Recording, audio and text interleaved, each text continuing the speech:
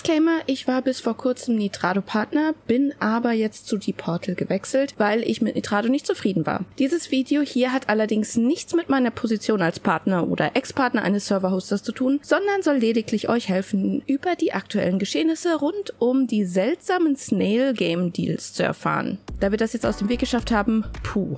Im Arc Server Admin Discord wurde ein Dokument sehr lebhaft diskutiert, das Snail Games USA schon im Juli offiziell gemacht hat. In diesem Dokument geht es um eine Vereinbarung, die Snail Games USA mit dem Mutterkonzern von Nitrado, der Mabis GmbH, getroffen hat. Mabis GmbH investiert ein bisschen mehr als 4 Millionen Dollar in die Entwicklung von Ark Survival Ascended. Im Gegensatz dazu bekommt Mabis, also Nitrado, exklusive Server-Hoster-Rechte für Ark Survival Ascended. Aber dieser Deal geht noch weiter. Sollte Ark Survival Ascendant nicht bis zum 31. Oktober für die PC-Plattform herauskommen, dann weitet sich diese Exklusivität auch auf Ark Survival Evolved aus. Es gibt dann noch eine Klausel, dass diese Finanzierung, sollten sie den Termin einhalten, allein durch Ark Survival Ascendant abbezahlt werden soll. Sollten sie den Termin aber nicht einhalten, hat Mabis das Recht, 20% von quasi allen Verkäufen innerhalb der Ark IP zu bekommen. Also Ark Survival Ascendant, Ark 2, Ark die Serie und so weiter. Snail Games USA ist auch dazu verpflichtet, Mabis über jegliche Planung und Entwicklung von Ark Survival Ascendant zu berichten.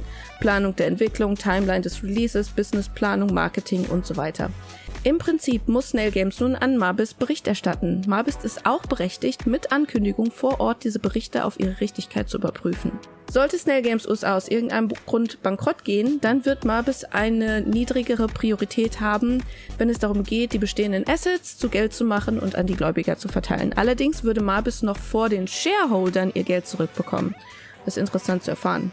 Das ist jetzt aber mal die grobe Zusammenfassung der Vereinbarung. Aber kommen wir jetzt einmal zu dem problematischen Punkt und das ist die Server-Exklusivität von Ark Survival Ascended und eventuell sogar Ark Survival Evolved. Wir hatten uns ja bereits gedacht, dass offizielle Server wieder von Nitrado gehostet werden. Diese Papiere deuten aber an, dass Nitrado auch die exklusiven Rechte an privaten Servern haben wird. Mit einer Ausnahme. Ihr hostet die Server bei euch auf eurer eigenen Hardware und eure Server sind nicht kommerziell.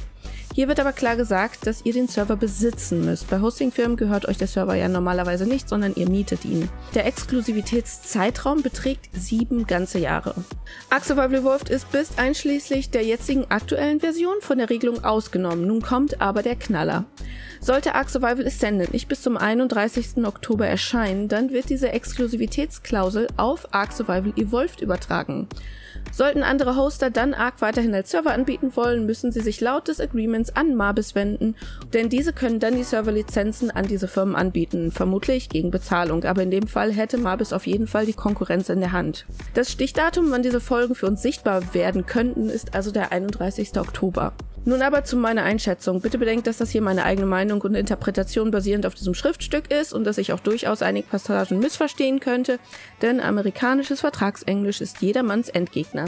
Es gibt nun mehrere Gründe, warum das passiert sein könnte oder passieren konnte. Ich habe gehört, dass Snail Games pleite sein soll. Das halte ich es allerdings für unwahrscheinlich, vor allen Dingen, da die Geschäftszahlen ja alle publik sind. Diesem Agreement vorausgegangen ist, dass Snail die Serverkosten für die offiziellen Server nicht mehr bezahlt hat, und zwar seit März. Das ist tatsächlich eine häufige Taktik, um Geschäftspartner in eine Einigung zu drängen. Es könnte natürlich auch sein, dass von vornherein klar war, dass die Serverkosten Teil der Vereinbarung waren und dann muss man die Vereinbarung ja auch erst treffen, bevor irgendwas passiert. Aber als Beispiel für Rechnungen nicht bezahlen, obwohl man das Geld hat, würde mir jetzt Twitter einfallen.